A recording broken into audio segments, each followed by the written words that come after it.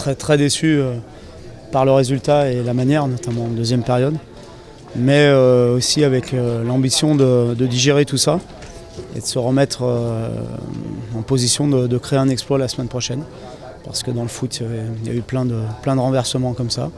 Donc la première chose, c'est déjà d'y croire, digérer, bien, bien digérer cette défaite et puis dès demain se remettre dans la, peau d'une équipe qui est capable de renverser le score au match retour. Je pense qu'on a, on a fait une bonne entame. Pendant 20 minutes, 25 minutes, on leur, a- posé des problèmes, on les a gênés. Ensuite, on a eu énormément de déchets techniques. Et on, leur a donné, rendu des ballons beaucoup trop facilement.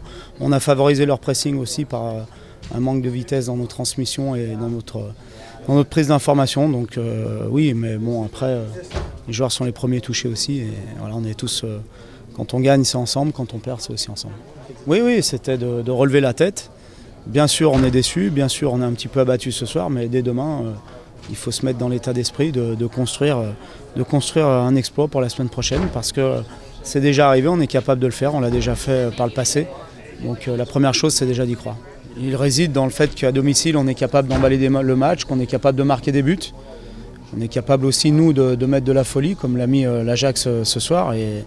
Voilà, on a, toutes, les, toutes les possibilités pour le faire. Après, c'est vrai que ça sera difficile parce qu'on a trois buts à remonter, mais euh, c'est possible. Oui, oui, il me surprend parce que j'ai appris à le connaître, mais voilà, si, euh, s'il a réalisé une telle carrière, c'est justement parce qu'il a, il a une telle force de caractère et aussi qu'il a, qu'il a des qualités de footballeur. Merci.